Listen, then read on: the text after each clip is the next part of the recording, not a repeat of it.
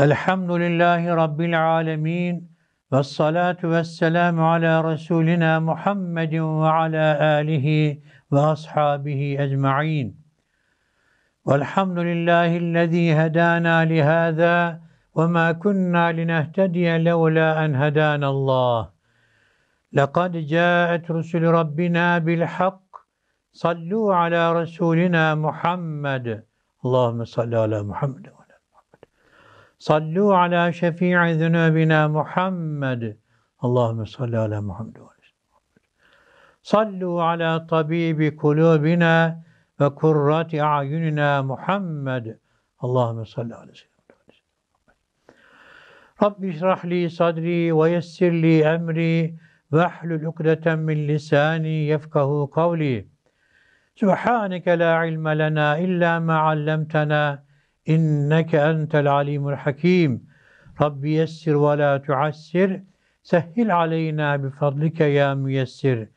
رب زدنا علما وفهما وإخلاصا ونورا وألحقنا بالصالحين. آمين يا معين.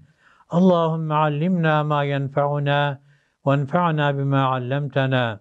آمين. بحرمة سيد المرسلين صلى الله تعالى عليه وسلم.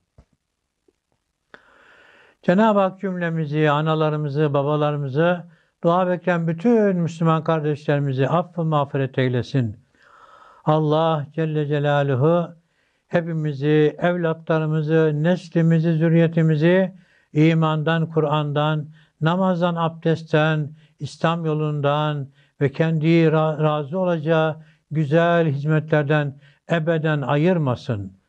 Allah Celle Celaluhu bu dünya hayatında bizi nasıl güzel Kur'an ile buluşturduysa, nasıl Peygamberimiz sallallahu aleyhi ve sellemin hadisleriyle buluşturduysa inşallah cennetinde cemalini doya doya seyrederek cennetinde de buluşmayı hepimize, aile bireylerimize, analarımıza, babalarımıza nasip eylesin. Amin.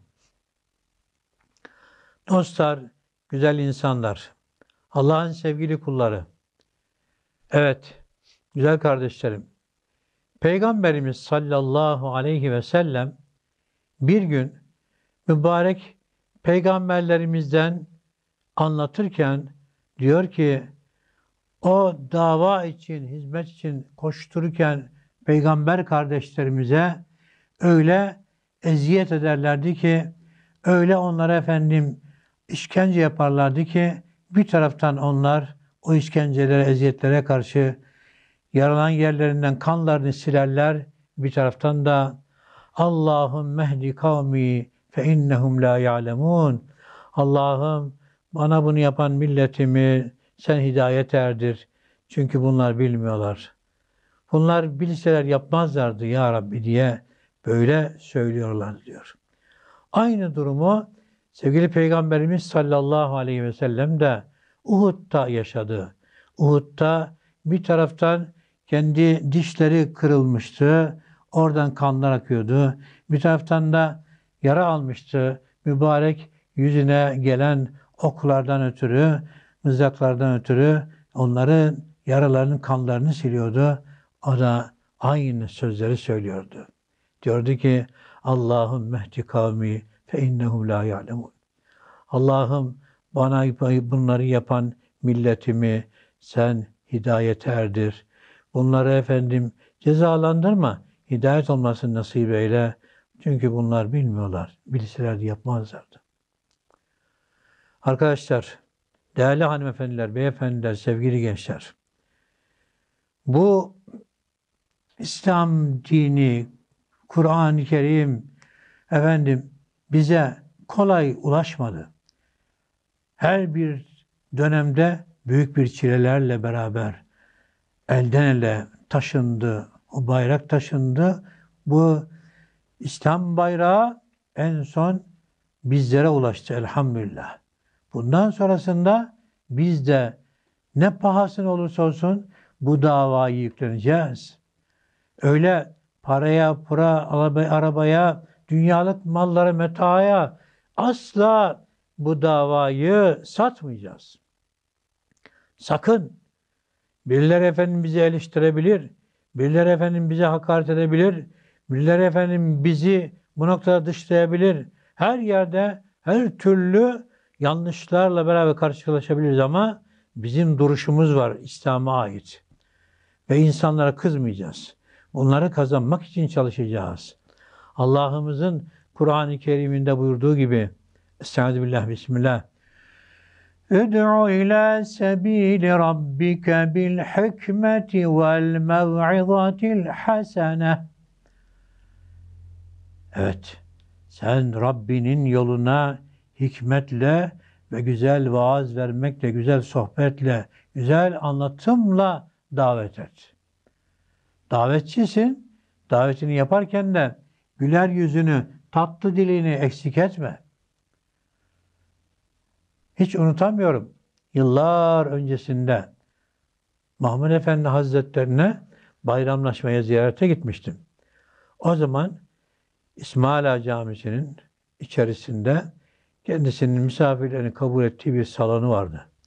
O salonda yani tenhaydı, müsaitti ortam ve girdim baktım ki oraya gelmiş olan Profesör Ayhan Songar hocamız rahmetli Cerrahpaşa Tıp Fakültesi'nde büyük bir efendim e, akademisyen Ayhan Songar Hoca Efendi e, profesör e, üstadımızı Mahmud Efendi Hazretlerimizi ziyarete gelmişler bayramlaşmaya. Ben de bir kenarda onları izliyorum. Konuşurlarken Efendi Hazretlerimiz buyurdular ki Ayhan Bey biz İslamiyet'i anlatırken çok sert davranıyoruz. Halbuki bizim böyle olmamamız lazım. Yanlış yapıyoruz. Allahü Teala Kur'an-ı Kerim'de Musa Aleyhisselam'ı, Harun Aleyhisselam'ı Firavun gibi bir zalime, bir kafire, ilahlık iddiasına çıkışmış olan bir insana bile gönderirken buyuruyor ki Kur'an-ı Kerim'de فَكُولَا lehu kavlen leyyinen Ona gidin ve kavli leyyin olan yumuşak bir anlatımla anlatın. Yumuşak bir anlatım. Yani Allah'ımız bunu böyle istiyor. Buyurdu Efendi Hazretlerimiz. Sonra devam etti. Dedi ki Ayhan Bey, yani ne oluyor bize ki ne biz bir peygamberiz ne de anlattığımız insan bir firavun. Dolayısıyla bu anlatım şekli doğru değil. İnsanları kazanamayız böyle bir sert davranırsak. Buyurdular mübarek. O yüzden biz de bir insanın yaptığı hatalara kızabiliriz ama insana kızmayalım. Öyle kızarsak, kapıları kapatırsak bu davayı nasıl anlatacağız? İnsanların hidayetine nasıl vesile olacağız? İnsanların namaza, abdeste efendim gelmese nasıl vesile olacağız? Onun için anlatımlarımıza, davranışlarımıza çok ama çok dikkat etmeliyiz. Yani biz de o tarafta olabilirdik. Yani biz de efendim karşıda şu anda küfür aleminde, şirk aleminde, eğlence aleminde, Allah'a isyan aleminde olanlardan olabilirdik. Elhamdülillah değiliz. Rabbim onları da kurtarsın inşallah. Bizi de bu noktada aracı eylesin inşallah. O yumuşak tutum, davranış her zaman insanı kazandırır, kazanır. Daha önce anlatmıştım ama yeri gelmişken yine anlatayım. Çok etkilendiğim bir olaydır. Rahmetli Nimetullah hocamız vardı. Nimetullah hocamız Almanya'da en olmadık bir yerde Ramazan gününde oruç tutmayan Türklerin kullandıkları bir kahve, birahane gibi bir yere gidiyor. Şevki Yılmaz Hoca anlatıyor. Diyor ki beraber gittik. Dedi ki Şevki Hoca'ya, efendim Nimetullah Hoca, Şevki Hoca, camiye gelenleri anlatmak kolay. Önemli olan dışarıdakileri anlatmak. Gel gidelim biz. Anlatalım o insanlara. Efendim inşallah hidayet olurlar. Gittik diyor Şevki, Şevki Hoca. Girdik diyor o birahane olan, kumarhane olan yere. Ramazan gününde oruç tutmayan Türkler toplanıyorlar hepsi. Gurbette oldukları için birbirlerini efendim o noktada orada buluyorlar. Sonra pazar günüydü. Nimetullah Hoca gelince arkadaşlar bana müsaade etseniz de beş dakika konuşsam falan diye söylüyor. Oradan bir tane genç diyor kalktı diyor. Şevki Hoca dedi ki anlatımını falan camiye götür. Biz bir şey dinlemek istemiyoruz falan. Cık. Kardeşim niye hemen böyle tepki veriyorsun ki? Biz burada efendim sana bir iki söz söyleyeceğiz ama para istemeyeceğiz. Camiye yardım toplamıyoruz. Siyaset yapmıyoruz. O istemiyoruz. Sırf Allah rızası Allah'ın dinini anlatacağız. Ya anlamadın mı git falan diye tekrar aynı genç böyle tepki verdi. Bunun üzerine Hoca Efendi yumuşak lisanıyla kardeşim falan diye böyle başlayınca yerinden kalktı diyor. O Nimetullah hocamıza bembeyaz sakalıyla nur gibi insana kalktı. Bir hem tükürdü hem de hakaret ederek itti diyor. Defol çık dışarıya gibi. Ondan sonra diyor hocamız bir biraz sendeledi. Biraz efendim bu durakladı. Döndü aynı gence. Kardeşim Allah senden razı olsun. Ben şu ana kadar İslam dini için ilk sefer hakaret edildim. Böyle yüzüme tükürüldü. Peygamberimize neler yapıldı bu davayı anlatırken? Sahabe-i kirama neler yapıldı? Dolayısıyla bir daha bana tükürsene, bir daha bana vursana, beni efendim içsene gibi söyleyince diyor, o genç böyle dona kaldı adeta. Kardeşim ne duruyorsun? Az önceki tepkilerini göstersene falan dedi diyor. Yine dondu kaldı diyor. Bunun üzerine hocamız çıkalım gidelim de diyor. Nimetullah Hoca, Şevki Yılmaz Hoca ile çıktık diyor. Bunun üzerine efendim geldi diyor o e, arkadaş az önceki bize tepki gösteren genç ve ağlayarak dedi ki hocam ben ne yaptım hakkınızı helal edin falan elinizi öpeceğim. Nimetullah Hocamız dedi ki kardeşim sen bir şey yapmadın. Asıl hakkını efendim helal edilmesi isteyecek olan da benim. Niye? Çünkü daha önce gelip sizinle görüşmedik, size bir şey anlatmadık. Allah bizi affetsin. Hocam demiş, arkadaşlar grubu beni çok etkiliyor. Sizin yanınıza katılsam, efendim böylece hizmet etsem falan diye. Hay hay gel kardeşim dedik diyor. Aldık ve Şevki Yılmaz Hoca diyor ki şu anda Bremen bölgesinde İslam için en iyi çalışan bu kardeşimiz diyor. Onun için biz bilemeyiz. Biz bilemeyiz. Allah Celle Celaluhu'nun davasını efendim anlatalım, hizmet edelim ve bilelim ki Peygamberimiz sallallahu aleyhi ve selleme, diğer peygamberlere yapılan o kadar zulüm, işkencenin neticesinde onlar yüzlerinden, üstünden, başlarına kanlarını silerken bir taraftan da Allah'ım mehdi kavmi ve ümlehum la ya'lemun. Allah'ım benim milletimi, bana bunları yapan kimseleri ne olursun sen e, hidayete erdir. Efendim onlar bilmiyorlar. Başka, başka bir rivayette yine diyor ki Buhari Müslim'de geçen efendim hadis-i şerifte Allahümme afirli kavmi. Allah'ım benim milletimi bağışla, affeyle. Yani hidayete erdir. Ayrı bir dua şeklinde bir de burada bir üstü daha var. Allah'ım bunları bağışla.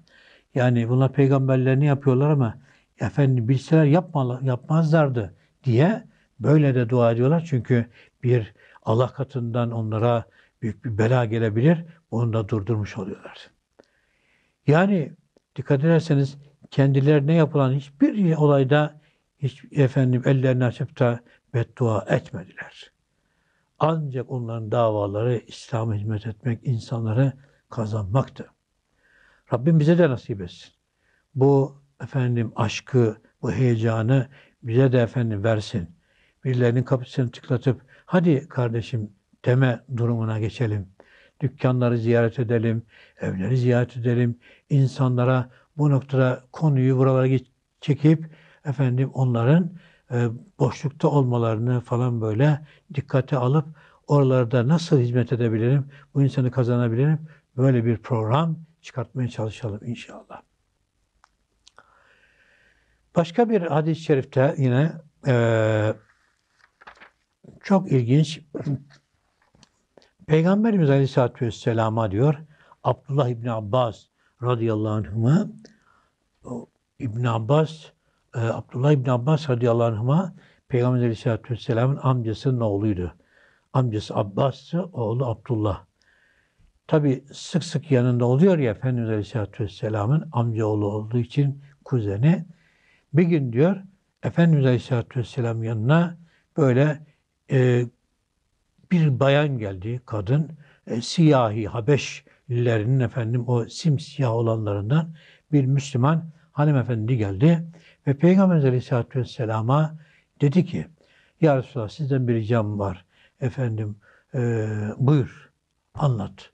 E, Peygamber Aleyhisselatü Vesselam'a dedi ki Ya Resulallah ben e, Sara hastasıyım. Sara hastasıyım. E, ve Sara hastalığım geldiği zaman da üstüm başım açılıyor. Efendim e, benim mahrem yerlerimde görünebiliyor. Erkekler onları görebiliyorlar. Nerede geleceği efendim bunun da belli olmuyor bu hastalığın. Onun için rica edeyim senden de ya Resulallah bana dua et benim bu hastalığım gitsin. Peygamberimiz Aleyhisselatü Vesselam diyor ona dönüp de dedi ki e, sana dua edeyim istiyorsan hastalığın gitsin veya sabredersen Allah Celle Celaluhu seni bu hastalığına sabrettiğin için cennetini alacaktır. Cennetliklerden olacaksın. Allahu Ekber.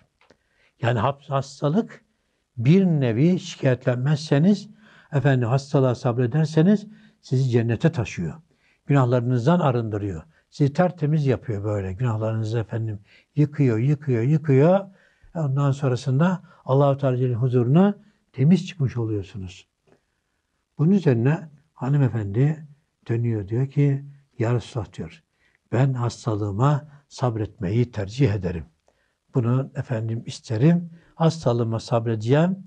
Yalnız sizden şunun için dua istiyorum. Hastalandığımda yine saram geldiği zaman üstüm başım açılmasın. Yani insanlar efendim erkekler falan benim mahrem yerlerimi görmesinler. Derde bakın. Yani hasta, saralı ve efendim geldiği zaman da kendisinde değil zaten otomatik olarak ondan sorumlu da değil ama buna rağmen efendim diyor ki üstüm başım açılmasın. Ey hanımefendiler, ey insanlar dikkat edelim kendimize. Bile bile günahları işlemek, bile bile efendim açılmak, dışarıya çıkmak, erkeklerin gözünün önünde kalmak ne kadar hatalı bir davranış. Rabbim affeylesin. Rabbim efendim hidayet eylesin. Rabbim dönüş nasip etsin. Farkında olmayı nasip etsin. Sadece kendiniz günaha girmiyorsunuz. Karşıyı da günaha sokuyorsunuz. Efendim onunla beraber onunla günaha sebep olduğu için siz iki tane günah birden üstlenmiş oluyorsunuz. Aman yapmayın. Aman yapmayın. Bakın Sara hastası ve bunun üzerine de üstün başım açılıyor diyor. Derdi üstün başın açılması. Yani Nasıl olabilir biz insanların arasına çıkacağız? Allah'ın yasaklamış olduğu yerlerimizi erkeklere dışarıda haram olarak göstereceğiz. Ondan sonra hatta bir tık öteye gidelim Allah korusun. Efendim plaja gireceğiz, havuzlara gideceğiz. Ondan sonra bir insanın e, erkek erkeğe, kadın kadına e, bir sefer kesinlikle diz üstünü göstermesi de haramdır ancak koca karısına, karı kocasına gösterebilir. Yani ailedeki mahremiyet karı kocaya aittir. Onun dışında siz evinizde dahi çocuklarınıza, annenize, babanıza diz üstü eteğinizde veya şortunuzda oturamazsınız. Erkek olsun, kadın olsun. Hiç önemli değil. Bana dikkat edelim. Erkek ancak haşamasıyla annesinin babasının karşısına çıkabilir. Efendim veya bir havuza girebilir. Efendim kadın da aynı şekilde kendisine ait olan diz altıyla annesinin babasının işte yanında, kadınların yanında durabilir. Allah Celle Celaluhu istikamet üzere bulunmayı nasip eylesin. İstikamet en önemli bizim çizgimizdir. Hani söylemiştik ya, bir insanın Allah katında tek bir duası kabul olacak olsa, bir dua edeceksin kardeşim. Duan nedir biliyor musun? Duan Allah'ım beni istikametten, ehli sünnetten ayırma ya Rabbi. Niye?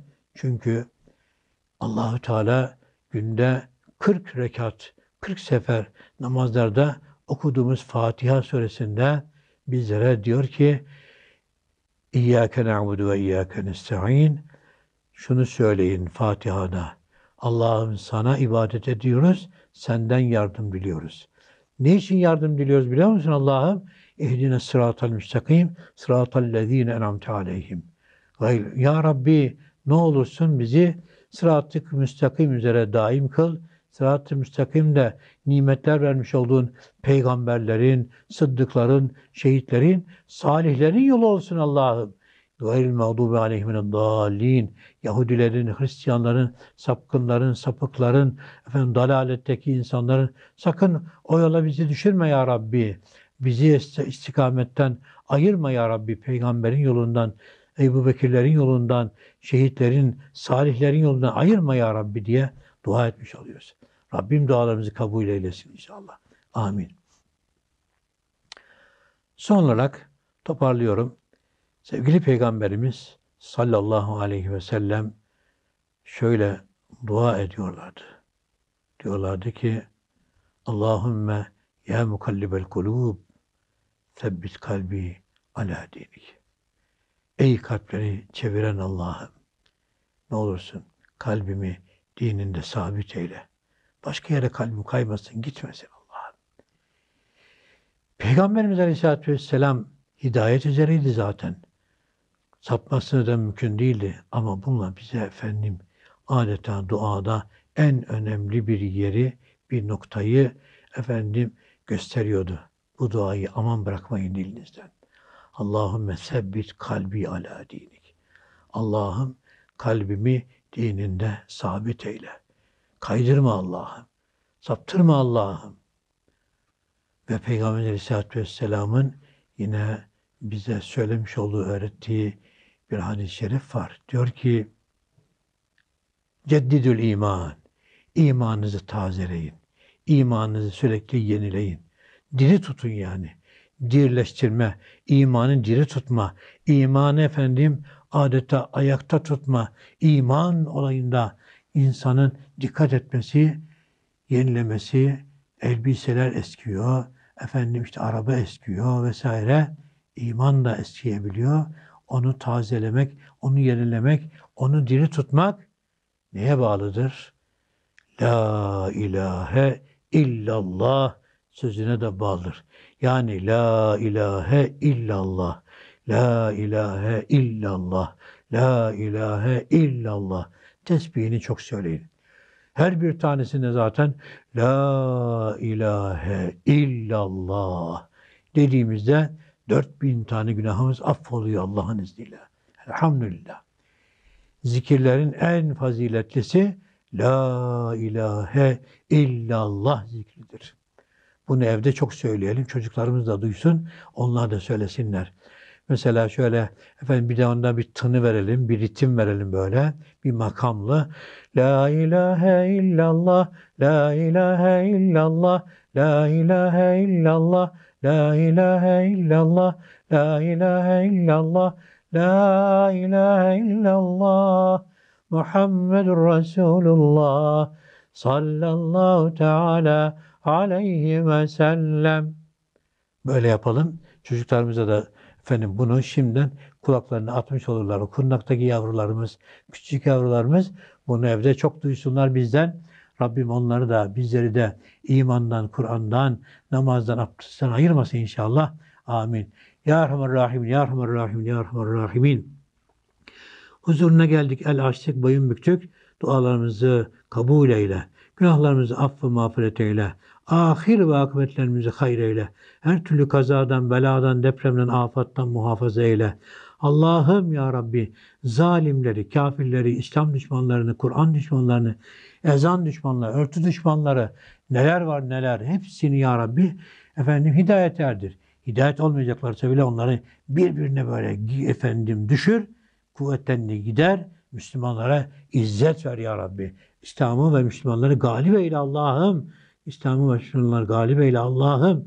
Hastalıklarımıza hastalarımız şifalar, dertlilere devalar, borçlara dağlar nasip eyle. Kimseye muhtaç etme. Kendi kapından başka kapı aratma. İlim, amel, ihlas nasip eyle. İşe yaramayan ilimden, doymayan gözden, ürpermeyen kalpten, kabul olunmayan duadan sana sığınırız ya Rabbi. Helal rızık, salih amel, güzel ahlak nasip eyle. Allah'ım güzel ahlak nasip eyle. Allah'ım yaratılışımızı güzel kıldığın gibi ahlakımızı da güzelleştir. Ya Rabbim Allah'ım Peygamber Aleyhisselatü Vesselam yolundan sünnetinden ayırma. Faize, harama düşürme ya Rabbi. Bankalara düşürme ya Rabbi. faizlere, bankalara, kredilere düşenleri de kurtar ya Rabbi. Allah'ım sonumuzu hayır getir. Son nefeste iman, Kur'an, şehadet nasip eyle. Kabrimize girerken cennet bahçesine girer gibi girebilmeyi nasip eyle. Yarın mahşer gününde Efendimiz Aleyhisselatü Vesselam'la kucaklaşmayı ve inşallah cennette aynı sofraya oturabilmeyi nasip eyle. Aynı şekilde anamıza babamıza rahmet eyle. Hayattalarsa hayırlı uzun ömürler, sıhhat, afiyetten nasip eyle. Bütün ölmüşlerimize rahmet eyle. Ya Rabbi Peygamberimiz Aleyhisselatü Vesselam ne istediyse biz de istiyoruz ikram eyle. Sen sığındıklarından bize sığınır muhafaza eyle.